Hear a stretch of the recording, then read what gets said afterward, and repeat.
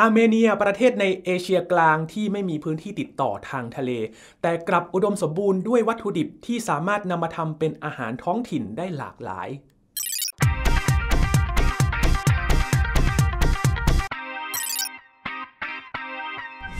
พอดแคสต์รีวิววันนี้ครับ ยินชวนไปฟังรายการ Spirit Along the Way สารคดีที่จะเล่าเรื่องราวบนโต๊ะอาหารของชาวอาร์เมเนีย ที่สะท้อนถึงวิถีชีวิตในชนบท ซึ่งเป็นอดีตอู่ข้าวอู่น้ำของอดีตสหภาพโซเวียต มีอาหารที่ประกอบไปด้วยวัตถุดิบที่หาได้ง่ายจากรอบตัวครับ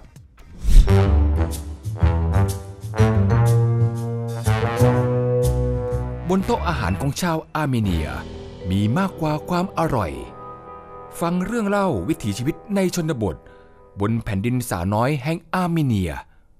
ถ้ามื้อไหนมีปลาเท้าเสิร์ฟลงบนโต๊ะเนี่ยไม่ต้องแปลกใจเลย แล้วเอาปลามาจากไหนกันล่ะครับ เอาปลามาจากทะเลสาบเซวานค่ะที่ว่าเป็นทะเลสาบที่กว้างใหญ่แล้วก็ถือว่าเป็นแลนด์มาร์คที่สำคัญ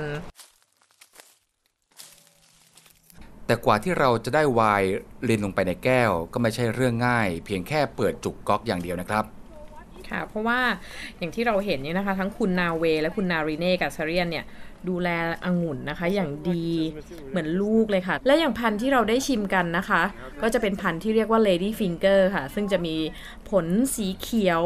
เอ่อเรียวแล้วก็ยาวนะคะ ลูกโตๆหน่อย แค่นั้นยังไม่พอนะคะ คุณนาเวก็ยังได้ทดสอบคุณภาพน้ำองุ่นนะคะ ด้วยการใช้มือเนี่ยค่ะ คั้นน้ำนะคะ สดๆเลยค่ะ จากองุ่นสีแดงเนี่ยบีบลงไปในแก้วนะคะ แล้วก็ยกดื่ม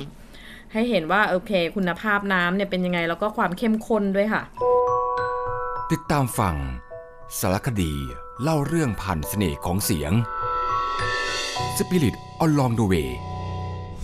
ชวนติดตามกันกับ Spirit Along the Way ครับ ตอนมองอาหารผ่านชีวิตชาวอาร์เมเนีย ที่เว็บไซต์ www.thaipbspodcast.com หรือแอปพลิเคชัน Thai PBS Podcast ดาวน์โหลดได้ทั้งระบบ iOS และ Android รวมถึงพอดแคสต์ช่องทางต่างๆ ที่คุณกำลังรับฟังเราอยู่ครับ ยังมีอีกหลายรายการที่น่าสนใจติดตามกันได้กับพอดแคสต์รีวิวครับ